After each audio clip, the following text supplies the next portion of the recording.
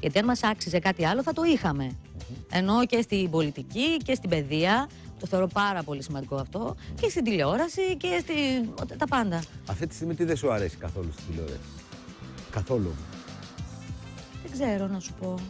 Παρακολουθείς ότι- τηλεόραση όπως παλιά ή την έχεις Ε, τώρα τελευταία. Όχι. Ξέρεις παλιά έμπαινα στο σπίτι και άνοιγα την τηλεόραση για παρέα και έβλεπα πάρα πολλά πράγματα. Δηλαδή, τι να σου πω. Μια εποχή που ε, ε, ήμουνα στο θέατρο στη Λάρισα, στο Θεσσαλικό θέατρο, γύρναγα το βράδυ. Έμενα τότε σε ξενοδοχείο. Μέναμε σε ξενοδοχείο. Καταλαβαίνεις εποχές, έτσι. Ναι, ναι, ναι. Σε ξενοδοχείο και άνοιγα και έβλεπα ερωτοδικείο.